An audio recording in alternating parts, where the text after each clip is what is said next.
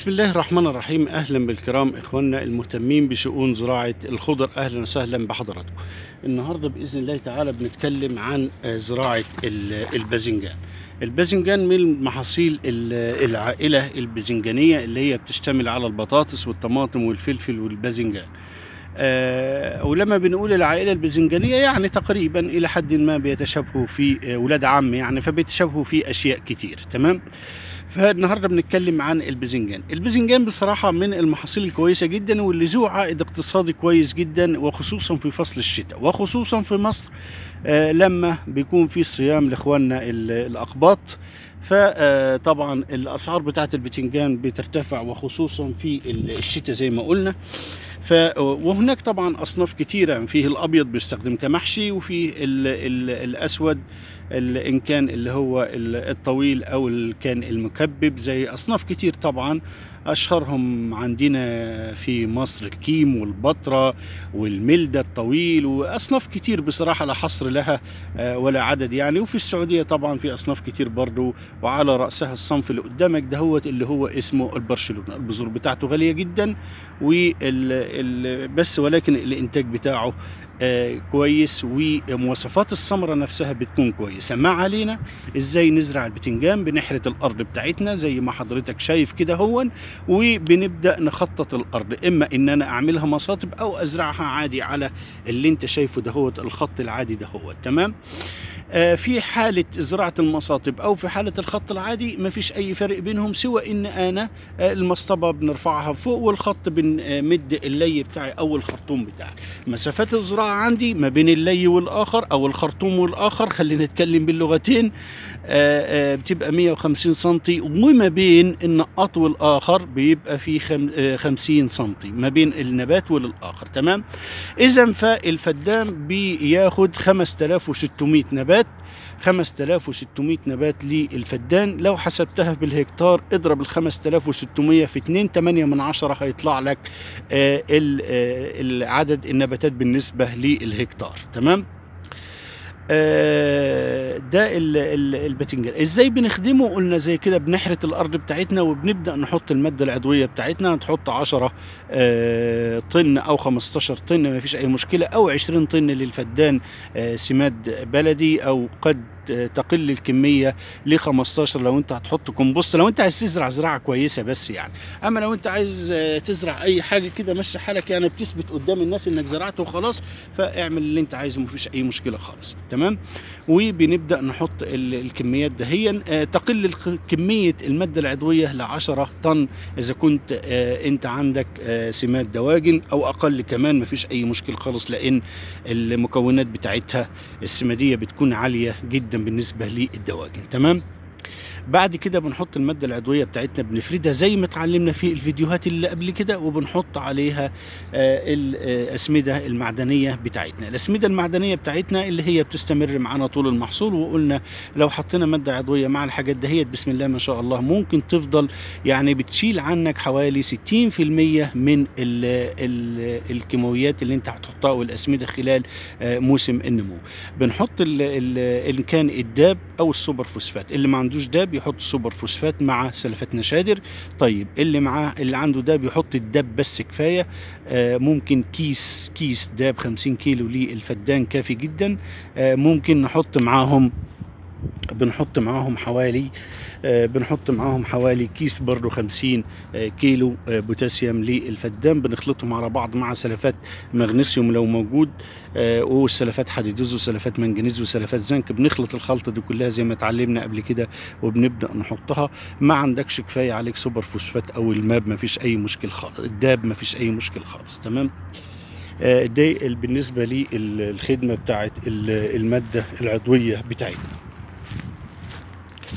بعد كده بنردم آه، الخ- الخطوط بتاعتنا أو المساطب بنردم الخطوط بتاعتنا أو المساطب بنردمها. آه، الردم بتاعنا يكون كافي مش أقل من 10 أو 15 سنتي فوق المادة العضوية عشان جدر النبات ما يتلسعش منك. نتيجة نتيجة التحلل بتاع المادة العضوية اللي بينتج عنها غازات قد تكون حرقة بالنسبة لبعض ال- بالنسبة لبعض لجذور النبات. بعد كده بنفرد اللي بتاعنا ده هو وبنبدأ نضخ مية عشان تحلل لي المادة العضوية. آه، مية كتير زي ما انت شايف كده مية كتير عشان تحلل لي المادة العضوية بحيث إن أنا أهرب من حتة آه، المشاكل اللي قد آه، بتحصل لي نتيجة إن أنا حطيت مادة عضوية وزرعت على طول. ممكن سقوط بقى للشتلات يبقى كتير. وتدخلنا في مشاكل فبنخمر الأرض بتاعته. بنخمر أرض يا جماعة زي ما قلنا بنخمرها على 3 4 أيام في كل يوم 3 4 ساعات مية بس متفرقين أو ساعتين مية متفرقين. المتاح عندك اعمله أهم شيء تقعد الأرض فترة آه، بعد ما بتبدأ تردم ال- الخطوط بتقعدها فترة وانت بتدي فيها مية. تمام؟ بعد كده بنزرع الباذنجان بتاعنا زي ما حضرتك شايف كده. دي ال- الشتلات بتاعت البتنجان بتاعنا. بنكبس عليها بنحطها كده وبنكبس عليها كويس. تمام. البتنجان يعني بيوجد في أراضي كتير يعني. آه، حتى لو الأرض سيئة جدا هو بيتحمل شوية عن الطماطم وعن ال- الفلفل. تمام. آه، بعد ما بنزرع البتنجان بنبدأ آه، نسمد البتنجان بتاعنا. بس يا ريت نحط شوية برضو توبسين أو شوية يونيفورم أو أي حاجة. ما تأثرش في البتنجان عشان بيتحمل لأ آه، لأن هو العائد بتاعه كويس. يعني أي محصول تزرعه حاول تكرمه علشان هو كمان يكرمك. الأسعار دي بتاعت ربنا تمام؟ ده اللي اللي بن بنتكلم فيه. بعد ما بن آه، بعد ما بنزرع البتنجان بتاعنا بنبدأ نحط له يونيفورم أو أي مطهر. الأسبوع الأول ما بنسمتش أي حاجة خالص على ما بيحصل مرحلة ثبات الشكل في حدود خمس أو ست أيام. آه تمام. في حدود خمس أو ست أيام.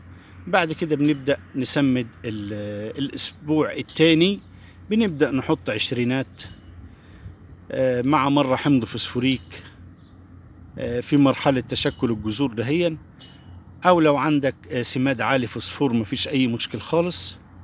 في الأسبوع الأول الأسبوع الثاني في الأسبوع الثالث برضو آه، نفس القصة برضو شوية عشرين عشرينات مرتين ثلاثة عشرينات. إحنا طبعا في البتنجان بنخف شوية طالما حطينا مادة عضوية كويسة فبنخف شوية عملية عملية ال- التسميد فيه.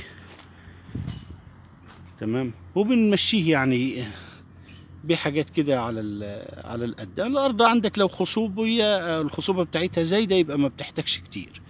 ما تقلقش يعني ما بتحتاجش كتير.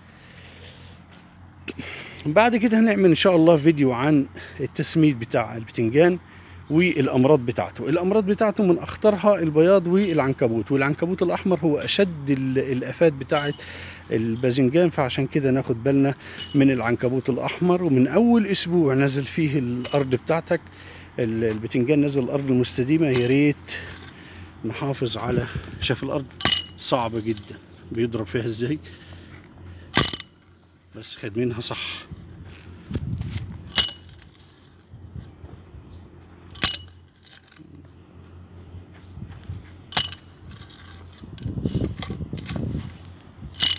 طبعا إن شاء الله هيبقى فيها بتنجان ممتاز جدا جدا جدا. ده البتنجان بتاعنا. بعد ما اتزرع خمسين سنتي المسافات اهي حاجة ما شاء الله. وهن بإذن الله في خلال موسم النمو هنتعرف على معاملات البتنجان بس إحنا كده عرفنا البتنجان بتاعنا آه، بنزرعه إزاي.